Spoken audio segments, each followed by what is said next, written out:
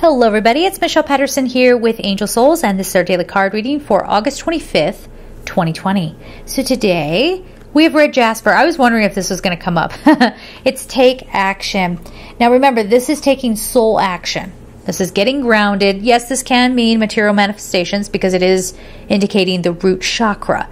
But take action doesn't mean let me go, you know, forging ahead and tripping over my own feet. This means be very grounded, be in tune with your heart, and take action to take care of you. Okay? Take action to take care of you. Maybe this is setting those boundaries. Maybe this is saying no thank you to something. Maybe this is um, believing in yourself. Yeah, there's a message around that too. Believing in yourself and allowing yourself to explore other avenues, other options, other ways of being. Where is your sense of safety?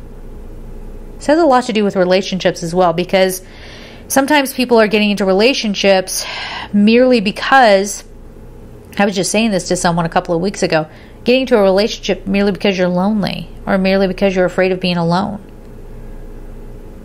And this is saying take action to find your own sense of safety, your own sense of worthiness, and figuring out what it is that you truly want, not what other people tell you you should want not what society tells you you should want.